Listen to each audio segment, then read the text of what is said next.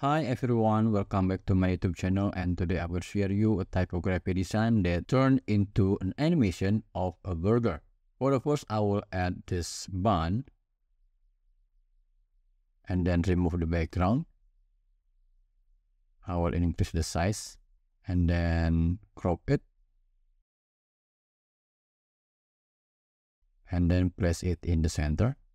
I have a list of burger toppings here. You can search in ChatGPT or on Google. Add element of beef patty and then go to apps and type font. Click font frame and click this icon. Now select this patty and then click use selected image and tap here patty increase the size of the image and then drag it here? Okay. Now go to setting. I will use this font you can change the font and then I will make it zero the outline thickness. Letter spacing is minus 50 and we don't need to adjust the line spacing. And then add to design. Remove this origin image. And then I will crop it. Now increase the size. Make it center. And then to add a depth on this text, you can go to edit and then shadow, glow, can reduce the size and reduce the blur amount and then add the intensity of the color. You can change the color to the color of the patty. For example, like this, like this dark brown.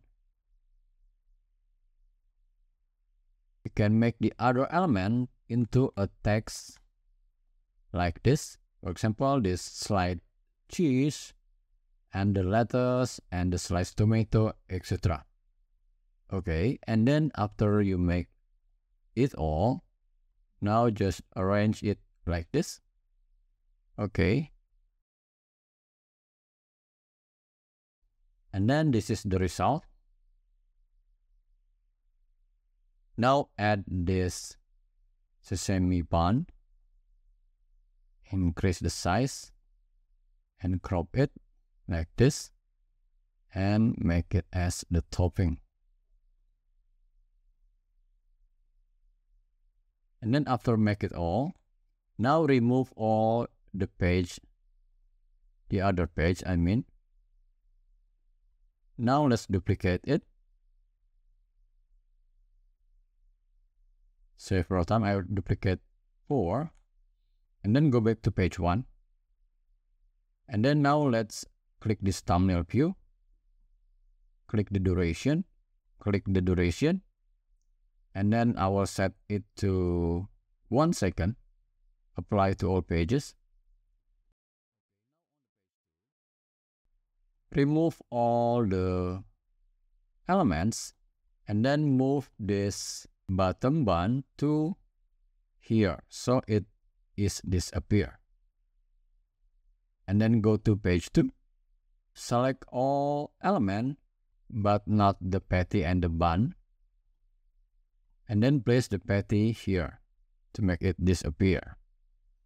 On the page 3, remove from the top to the lettuce and then move this cheese to the top like, like this.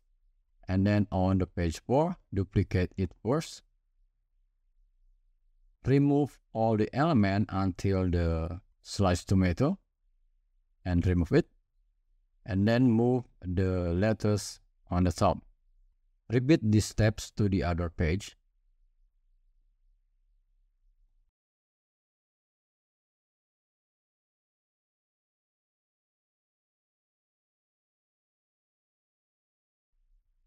Now click the space between pages and click add transition, choose match and move and then apply between all pages. Now let's play it.